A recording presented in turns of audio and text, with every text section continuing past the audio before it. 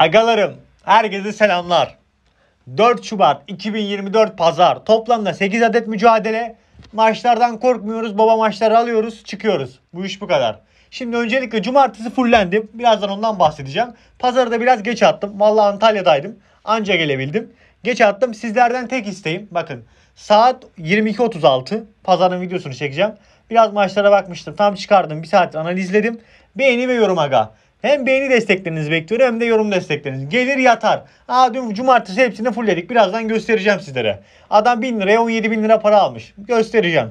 Maç skor yarışmamız var. Cumartesinin maç skor yarışmasının pazartesi videosunu açıklayacağım. Sizlere yine hafta sonu olması kaynaklı Arsenal Liverpool maç skoru ne olur sizlere sorduk. Bilen 3 arkadaşımızı gruplarımıza Şubat ayının sonuna kadar alalım. Arsenal Liverpool maçının skorunu yorumlara yazmayı unutmayın mutlaka.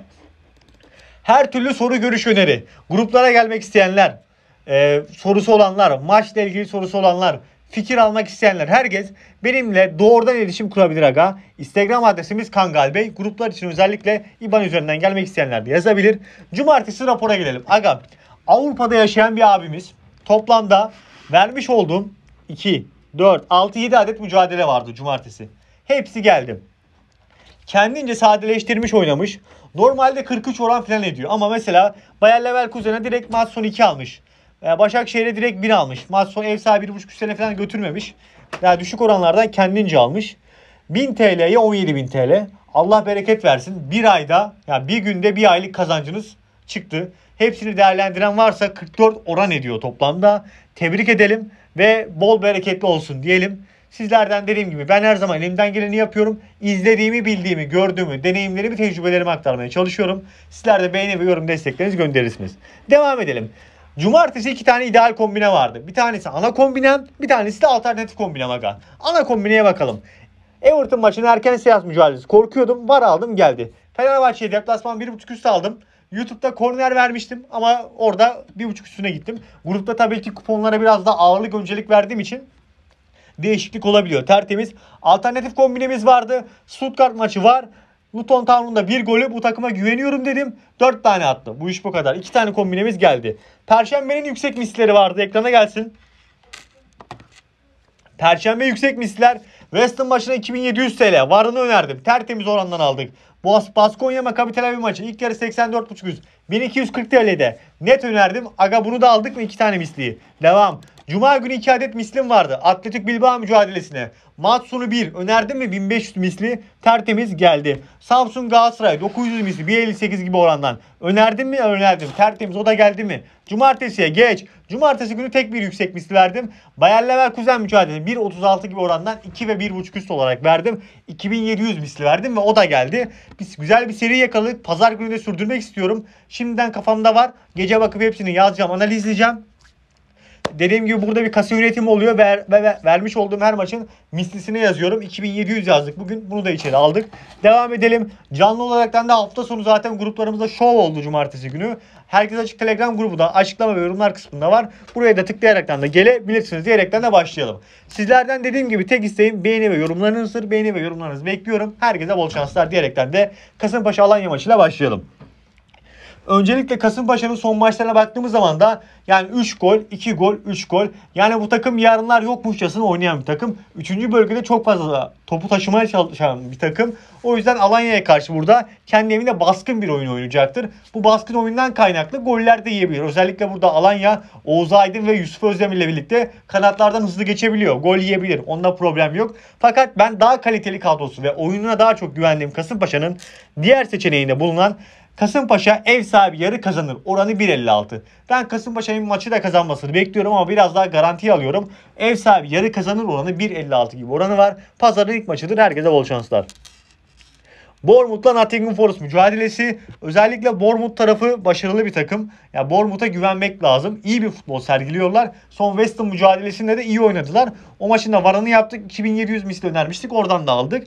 Nottingham Forest oynayacaklar. Nottingham Forest'ta birçok oyuncu Afrika kupasında ama yani daha önce söylemiştim. Üçüncü kez söylüyorum sanırım. Premier Lig'de en geniş kadrosu bulunan takım Nottingham Forest tarafı.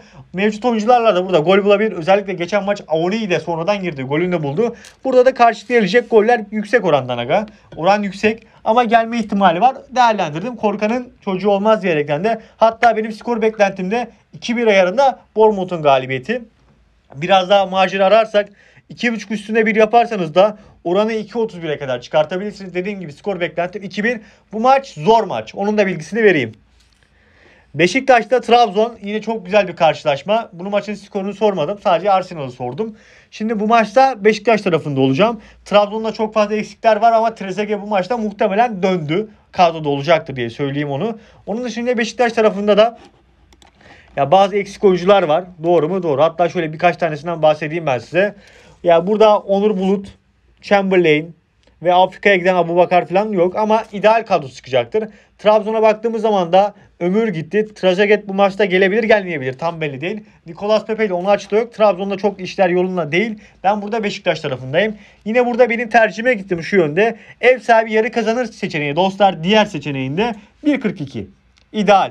İdeal tercihim burada Beşiktaş'ın ya ilk yarıyı ya da ikinci yarıyı kazanması yönünde olacaktır.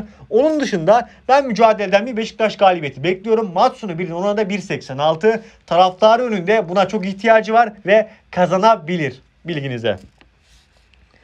Arsenal Liverpool karşılaşması zor bir karşılaşma ama baktığımız zaman da yani kulübün da son senesi bu oyunculara oyuncuların üstüne duygusal bir anlam yüklemiş midir bilmiyorum ama Chelsea mücadelesinde çok rahat kazanan bir Liverpool takımı vardı. Salah olma, olma işi kaynaklı da yani bir acaba puan kaybeder mi Chelsea'ye karşı? Aga takımın bir sistemi var. O sistemi çok iyi bir şekilde sergiliyor. Darwin Nunez de yani çok kaçırıyor ama son dönemde biraz daha iyi. Eski oranla biraz daha iyi olduğunu söyleyeyim. Bu maçın yapacağınız tek tercih karşılıklı golleri almanızdır. KG var olarak alırsınız. izlersiniz keyifli bir mücadele. 2-2 ayarına da geçebilecek bir karşılaşma. Tek tercihim var. Gollerden gittim. Riskliye gitmedim. KG var önerdim sizlere. Leipzig ile Union Berlin karşılaşması. Bu maçta da beklentim Leipzig'te son mücadele e, Simon mu? Aynen. Bizim genç eleman e, Rastalı şeydi. Sarı kart cezalısıydı. Oynayamamıştı.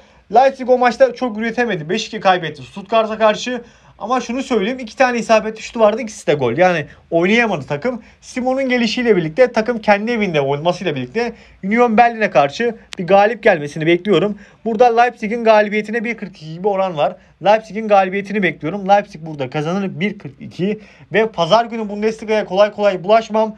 1.5 üstüne veya ev sahibi 1.5 üstlere gitmiyorum. Maçın 1-0'da var bence. O yüzden doğrudan maç sonu biri sizlere öneriyorum.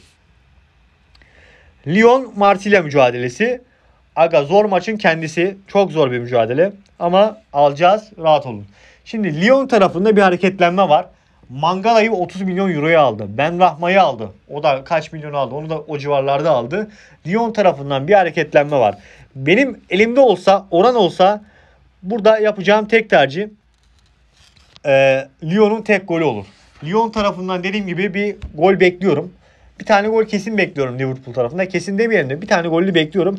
Avrupa'da yaşayanlar burada Lyon'un bir golünü alabilir aga.